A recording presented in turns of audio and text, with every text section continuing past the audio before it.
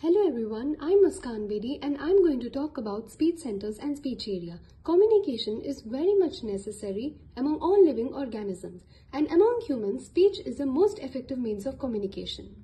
Speech has three types, spoken form, written form and reading form. Spoken form is where the ideas are expressed verbally.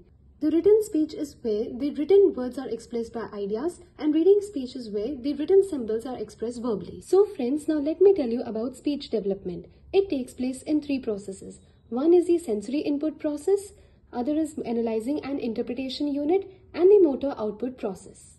So in this process, the auditory and the visual association area, they feed the information to the analyzing and the interpretation unit. So the analyzing and the interpretation unit analyze and note the significance of the information. So this is done by the visual and auditory association area, the Wernicke's area, the angular gyrus and the uh, hand skilled area. Now in the motor output area, the motor areas, the Broca's area, the premotor area and the motor area, they control the movement of muscles of vocalization and writing. Okay friends, now let me tell you about the speech centers. There are six speech centers. They are the auditory association area, the area number 42, visual association area, area number 18 and 19, the Wernicke's area, area number 22, the angular gyrus, area number 39, the Broca's area, area number 44 and 45, and the hand skilled area, which is located in the premotor area. So the steps and processes for the effective communication through speech in response to hearing is called speech pathway. So let me tell you about aphasia. Speech or language disorder is known as aphasia. There are four different types of aphasia. The motor aphasia, which is known as Broca's aphasia, the sensory aphasia, known as the Wernicke's aphasia, the global aphasia, and the dissociative language syndrome. Let's see about word blindness. Angular gyrus in the area number 39, which is present in the inferior most region of the inferior lobe of the parietal lobe. This gyrus is the second receptive area to the angular gyrus of the visual receptive area. During this lesion, the Wernicke's area, area number 22, which is present in the temporal lobe, is not affected. This tells us that the person's auditory activity is not affected.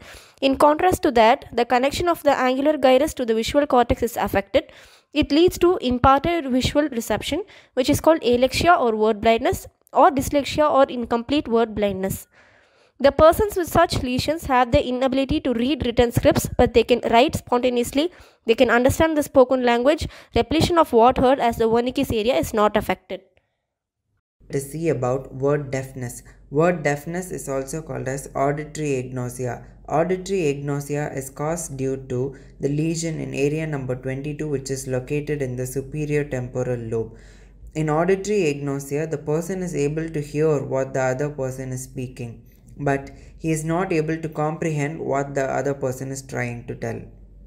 However, in this condition, the person is able to comprehend other forms of non verbal noises such as music, birds chirping, or um, other vehicle noises. Now let so now let's look at the scenario. So you guys got the scene right? Yes, yes. Okay, then let's shoot. Camera is rolling. And action! Come on. Cut, cut, cut. Rahul, are you okay? Rahul!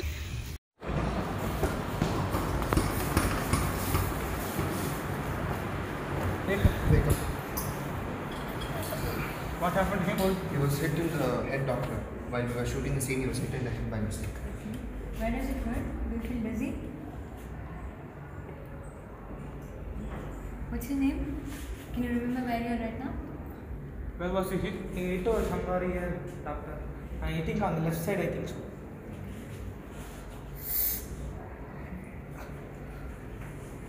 I felt a swelling in uh, there. Think it's Broca's area. And he's unable to speak. It might be due to motor aphasia. Let's do an MRI and Yeah. Doctor, what happened to him? Let's do an MRI and Okay. Okay, doctor. Thank you. The MRI. Oh, diagnosis was right. Let's look at what has happened. The case we just saw about is about the Broca's aphasia. Broca's aphasia is the Brodmann's area 44 and 45 which is present on the inferior frontal gyrus of the frontal lobe in the dominant cerebral hemisphere. A lesion in the Broca's area results in the patient inability to speak even though he has the ability to think what he wants to speak, write or read or he can also understand when he see or hear them. Earlier, cause for Broca's aphasia would be a brain stroke or a brain injury by physical means. In Broca's aphasia, even though the language is perceived by the patient, he or she cannot express himself by speech even though there is no paralysis in the speech apparatus. Hence, this aphasia is also called as expressive aphasia or non-fluent aphasia or motor aphasia. In the given case, the doctor asks the questions, do you feel dizzy or where does it hurt? The patient cannot, uh, even though he understands what the doctor says, he cannot able to respond. A lesion in the Broca's area can also affect the uh, adjacent primary motor area which can result in hemiparesis which is weakening of both the limbs on the same side or also hemiplegia which is paralysis of both the limbs on the same side. Uh, the patient is well aware of their communication deficit and are more prone to frustration. Hence, self-monitoring is very very important in these patients. Currently, there is no standard treatment for this aphasia. However, speech therapy is uh, given in these patients. Hello? Hello, Sneha? Where are you? There's something wrong with Sriparna. I'm so confused. I don't know what to do. I'm at the hospital. Can you help me with this? Hello? Auntie, what happened? Sriparna's in the hospital? What? Okay, okay, I'll be there. I'll be there. I'll come soon. Auntie, what happened to Sriparna? Sriparna? What happened? Are you okay? Loudness, full throttle, megadeth, ultra pro max, imminence, infectious, Bagatalica, dang dang, zombified What? tomorrow. Auntie, what happened to her? What's going on? I don't know what happened to her. Even I'm very confused. Hello, Mrs. Ananya. Hello, doctor. She's Sneha, Sriparna's friend. She's studying first year MBBS in the same college. Yes, doctor. I'm not able to understand what's going on with Sriparna. Can you please explain clearly? Okay, I'll explain. The condition which has been demonstrated here is called sensory or Wernicke's aphasia. Aphasia in general means loss or impairment of speech due to any lesion in brain. Wernicke's aphasia it is called so because Wernicke's area which is located in posterior superior temporal gyrus which corresponds to area number 22 of Brodmann's area. This type of aphasia is also called fluent aphasia. There are two main features of this aphasia. First one is impairment of comprehension of speech. Second one is paraphasic speech, which means usage of inappropriate or meaningless words. This aphasia results from loss of blood flow to brain. Stroke or any head injury, speech therapy is the main treatment for aphasia in general. Lastly, we are going to talk about global aphasia. So, global aphasia is considered to be a combination of both motor aphasia and sensory aphasia. Motor aphasia is seen in the Broca's area, which are the area 44 and 45, and sensory aphasia is seen in the Wernicke's area, which is area number 22, 39, and 40, which are considered to be auditory areas. So, and in this type of aphasia, the person loses the ability to read, write, and understand what he or she is speaking.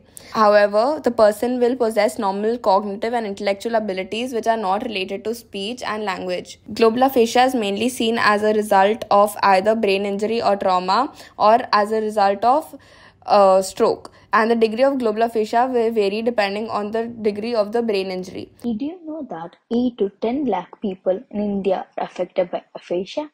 Or that 2 million in the US are diagnosed with this disorder? No, right? This is because aphasia is one of the most overlooked diseases. This aphasia is something out of the ordinary. People with little to no knowledge about this disorder tend to exclude those who suffer from it. In conclusion, we would like you to understand that dealing with aphasia is no small task and that those who suffer from it face no end of hardship.